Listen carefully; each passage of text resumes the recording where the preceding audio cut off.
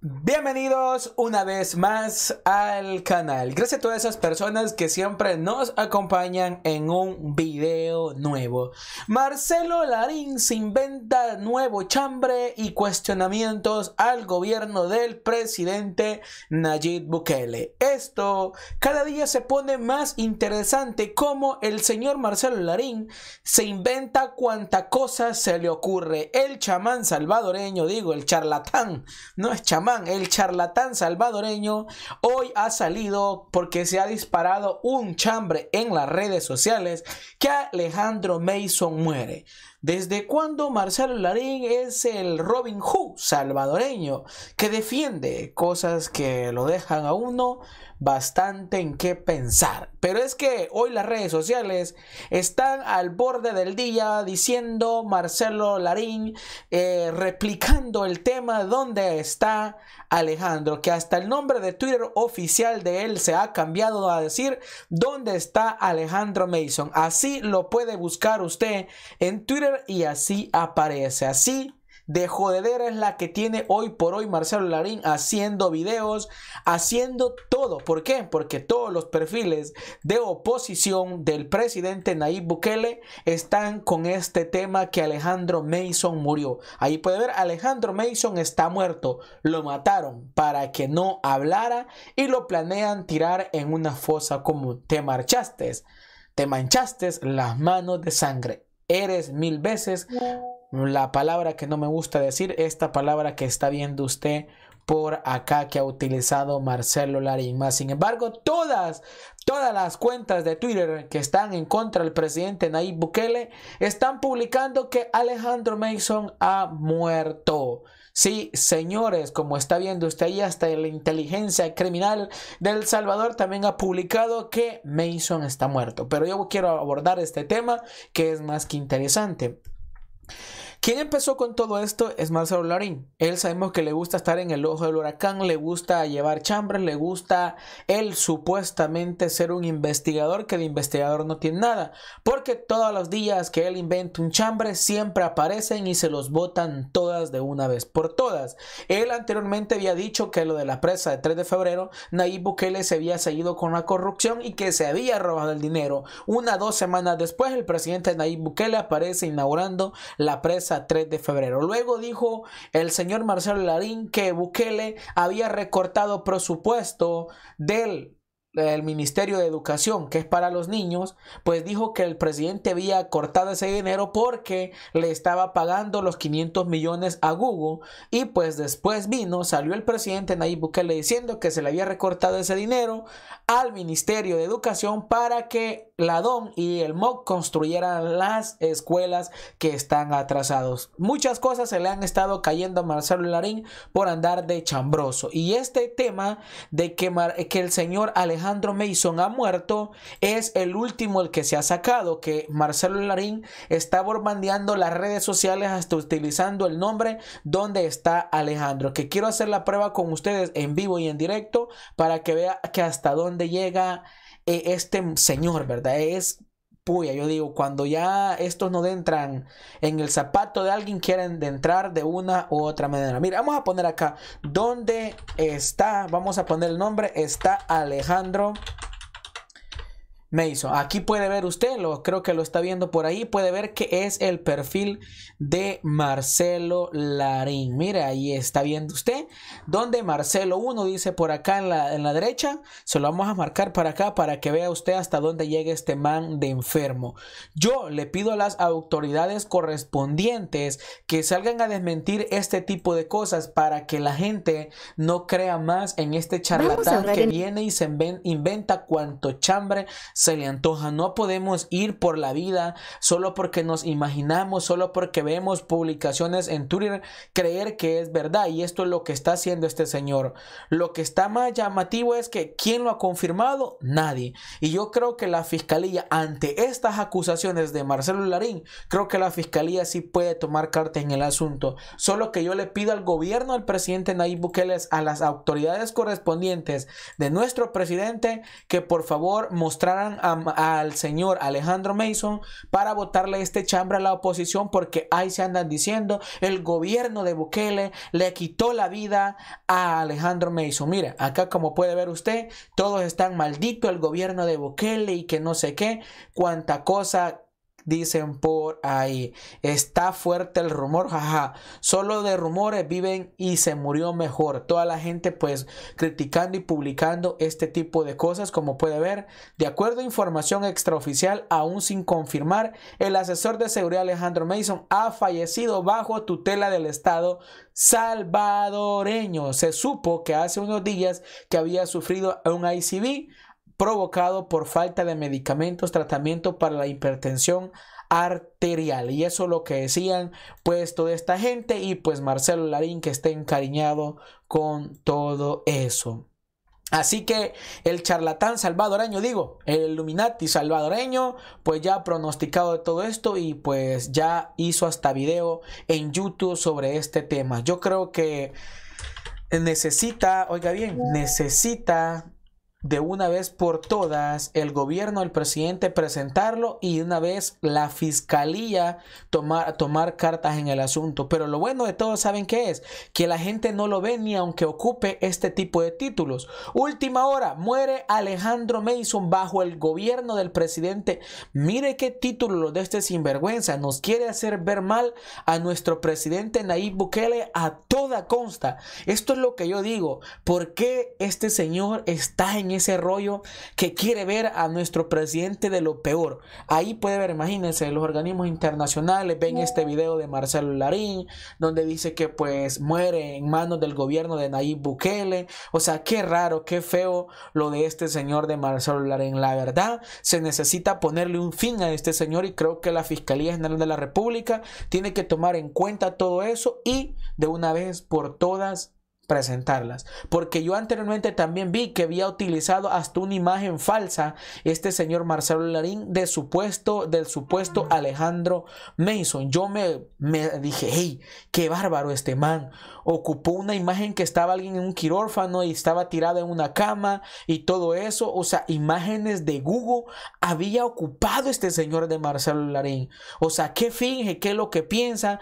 Puede ver que el canal de él, si no se inventa chambres, está tirado al perro. Un canal con más de 300 mil suscriptores está recibiendo 1700, oiga bien, viewers, 2400, 3200, 3800, es por el mal que está haciendo más. Sin embargo, el canal de él ha estado patrocinándose videos, ha estado pagando publicidad para que YouTube le pague y le mande más alcance a su canal. Y yo quiero que veamos esta imagen de la que ocupó de Alejandro Mason que yo les decía.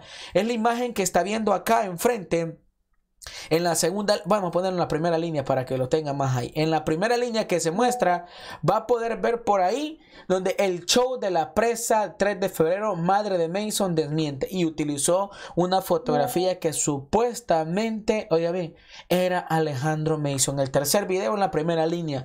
Qué triste, qué lamentable lo de este man, hasta dónde está llegando, a qué extremos y ojalá no le vaya a salir caro todo esto sus cuentos chinos de este señor, porque estos cuentos sí están bastante pesados. Otra cosa que quiero hablar con ustedes es que hoy por hoy, oígame bien, está duro esto, está tremendo familia. Como dijera el, el señor Santiago Zúñiga de Honduras, esto está perro. La lógica de la oposición, oiga bien, la lógica de la oposición es que estábamos mejor con los pandilleros y esto lo ha dicho Álvaro Méndez, que dice que estábamos mejor con los pandilleros que solo nos pedían los 10 dólares diarios y nos dejaban vender y tranquilo. Yo quiero que escuche a un opositor. Qué tontera, qué estupidez más grande de estos señores. Que creo que no les corre sangre por las venas, no les corre sangre por la cara, sino que les son cerebro de camarón. Escuche. Elecciones. Eso es lo que está esperando la gente el día de las elecciones está esperando la gente. La gente ya no aguanta ese régimen. Porque antes, yo no estoy defendiendo pandilleros, pero el pandillero te decía, mire, señora Carmen, déme los 10 pesitos. La señora Carmen daba los 10 pesitos y seguía vendiendo mango. Ahora te botan los mangos Y si decís algo, te zapas preso. ¿Cuál es la diferencia que antes te mataban afuera y ahora te matan ahí adentro? Al mismo hoyo va. Elecciones. Ay, imagínese qué lógica la de este señor. O sea, pandilleros, la gente toda extorsionada. Y este gran, supuestamente es el asesor de Joel Sánchez, del Beto Kuma. Imagínense, la lógica es, ok, mira, sacar los pandilleros, no nos echamos encima a esa gente y que la gente siga, que la sigan matando en las calles y que la gente siga pagando extorsión. Fácil, la lógica de estos señores. No tienen más que decir. Ahí está claro, familia. O sea, hoy dice que el gobierno, la gente ya no aguanta más este gobierno. Por Dios, Señor, si estamos bien con este gobierno, por si no lo sabías, eh, cejitas cantoneras, qué triste, qué lamentable. Este está igual que Marcelo Larín inventando chamber. Yo solo le digo una y mil veces, el gobierno tiene que presentar a Mason para que pueda callarle los hocico a toda esta gente y tomar cartas en el asunto. Y sobre este señor que dice que los pandilleros merecen estar afuera porque era mejor, pues bajo la lógica de este señor se va a quedar porque el pueblo salvadoreño ya decidió, ya elegimos qué ondas. O sea, este señor, siempre lo digo, le falta cerebro, no sabe nada, no sabe qué pasó en nuestro país, El Salvador, porque el marica salió huyendo, corriendo de nuestro país cuando estaban las pandillas y por eso él habla así de de los pandilleros. Él no sabe el mal que nos hemos enfrentado todos los salvadoreños con las pandillas, lo que tuvimos que vivir, lo que aguantamos, todo lo que nos hicieron sentir los pandilleros y este bien fácil. O sea, es increíble cómo puede haber gente tan bruta, tan dunda dando este tipo de opiniones que a mí digo, me sorprende. Eh, lo que es ser falto de cerebro como esta persona, pues es triste. O sea, esos son los que quieren llegar a la política en nuestro país, El Salvador. Pero bueno, ya sabemos qué ondas, qué rollo. Que ladre de la USA porque solo de A puede ladrar este señor. ¿O será que Cejitas Cantoneras recibía de ese billete las extorsiones? Porque llama mucho la atención, ¿verdad? Que hablen así, de esa manera. ¿Y será que quizás le llegaba su billete hasta allá a Virginia? Porque pues para que hable así que era mejor que pagaran los 10 dólares, interesante. Bueno, voy a hablar otro tema más para terminar es de este señor Carlos Reyes. Creo que ayer vieron mucho la plenaria y mi presidente Bukele siempre ha ocupado una palabra que dice cómo, cómo cambia la personalidad de una persona cuando se ve aprietos y cómo cambia una personalidad de una persona cuando ya no tiene el poder. Y es lo que le pasa últimamente a Carlos Reyes. Este señor se la llevaba, como dicen por ahí, la canción de Aniceto Molina, tú te la llevas de muy machito y te machito no tienes nada. Eso le ha pasado a Carlos Reyes. El perro que ladraba ahora sale con la cola entre las patas. Qué bueno que se esté actuando a tiempo. Estamos listos para votar en esta amenaza que tenemos justamente de esta tormenta tropical Pilar. Y aquí al martes nadie, nada cambia. Nada cambia. La plenaria finalizó. Nada cambia. Nada cambia de aquí al martes. Era cuando se había vivido la emergencia que el presidente Nayib Bukele, si ustedes se recuerdan, mandó a todo su gabinete de, del ministerio, de todo su gabinete de gobierno a la Asamblea Legislativa a pedir que la, de, la antigua Asamblea Legislativa decretara emergencia nacional y no quisieron. Y ahora Carlos Reyes, qué bueno que se está tomando a bien este caso de poder ah, poner alerta nacional es que los areneros tienen una mente tan psicópata y tan enferma y es como la que le voy a mostrar de este arenero de, Carlos Araujo. Yo quiero que usted lea y escuche este tweet. Declaran emergencia cuando no ha ocurrido nada. Se dan permiso de manejar fondos sin control por 15 días. Y es que ya existen leyes, procedimientos y fondos para estos casos. Estamos en campaña, decía el señor Carlos Araujo. La lógica de un arenero, oiga bien, primero choca en el carro y después se pone en el cinturón. Esa es la lógica de los areneros.